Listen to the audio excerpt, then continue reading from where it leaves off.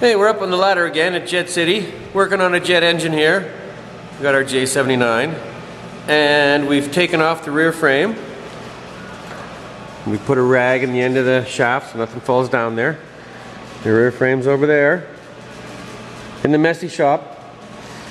And we're going to take a look at something that at this point in the disassembly, we have an opportunity to illustrate something that's really hard to show. People ask all the time, what's the pathway the, of the cooling air? What's the pathway that it follows? How does it get to the blades?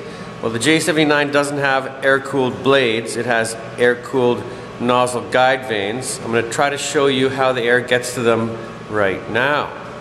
Hang on. Okay, we've got half the turbine case off. Let's see if I can get a bit of light on there for a second. Here we go. Okay, so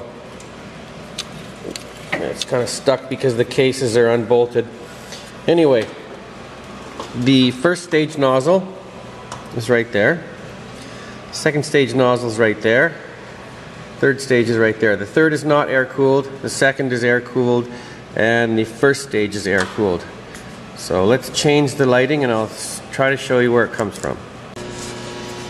Okay, we're looking straight down between the nozzle and the combustor outer case. A little flashlight here. If you look really carefully, maybe you can see it, maybe not. You can just see the outside of the combustor liners.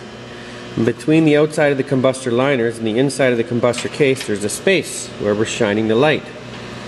Now, that space leads right into there. That's the hole that the air goes into to cool the first stage nozzles. And the pressure in this chamber is controlled by the leakage out of there and also these little holes that leak air directly into the gas path. Very cool.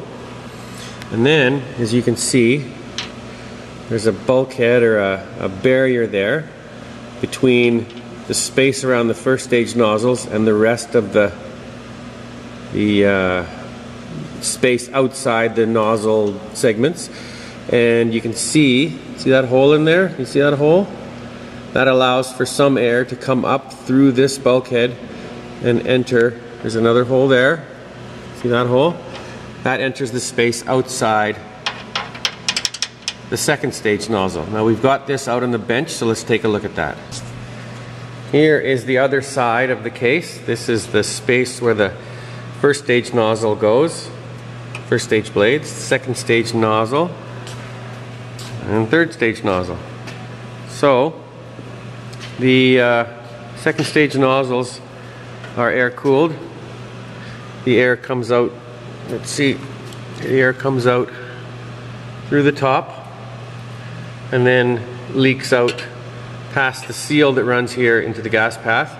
And the third stage nozzles are not hollow. If you can see that, they're not hollow and no air flows through them. So there's our little there's our little leakage holes that allow some of the remaining of remainder of the cooling air to run up to the space outside on the outer diameter of the second stage nozzles and a little bit flows through them and that's the last of the compressor discharge air that is not used for combustion. So cooling air is a very ingeniously managed uh, commodity in the engine.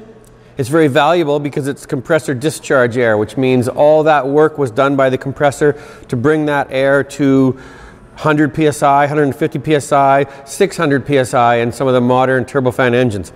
It's very expensive air, so you want to minimize the use of it.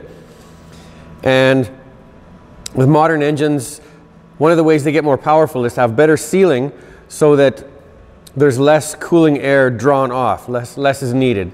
There's higher compression, less cooling air taken off because when you reduce the output of the compressor by tapping off for cooling air, you reduce the amount of power that you can make with the engine. Okay, now in the engine, the pathways for the cooling air are not things, they're spaces between other things. So it's very hard to show it. So we showed a little bit here, and I hope that explains a little bit of it. It's very difficult to show the pathway of cooling air because, like I said, it's a virtual thing, the spaces that it flows through. So thanks for watching in my efforts to explain this mysterious subject at Jet City on a snowy Saturday. Thanks.